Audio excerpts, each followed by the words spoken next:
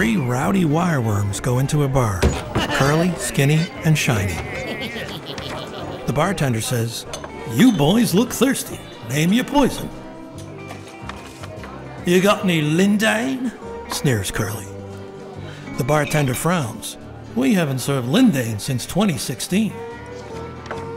All the worms snicker and shout. we know. That's why we keep coming back. Nothing kills us now. How about a neonic instead? The bartender pours a shot of Cruiser and hands it to Curly. He gulps it down, gets drunk, and passes out for two months. But Curly goes on to live a long and happy life, spawning generations of voracious wireworms.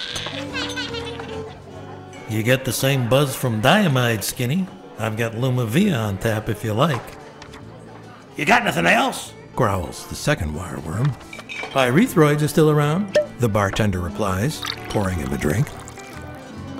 Skinny brings the glass to his mandibles, takes a small sip, and recoils in disgust. Ugh, this is repulsive. Skinny spits, then runs screaming out the door.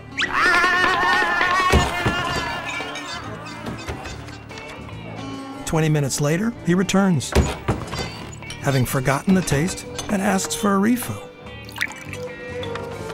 Ugh, this is awful. I am out of here. and once again goes screaming out the door. This continues until closing time, and Skinny goes on to live a long and happy life, ravaging wheat seeds and plant roots between rounds. Just give me something smooth with a kick. Snarls the third wireworm.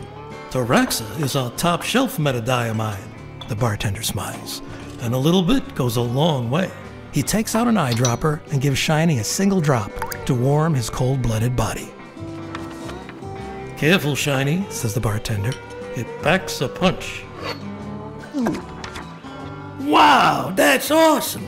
You should have served this first. Shiny shouts. But soon he begins to writhe like a hula dancer. His body shrinks and turns brown. He goes into convulsions and drops dead on the floor.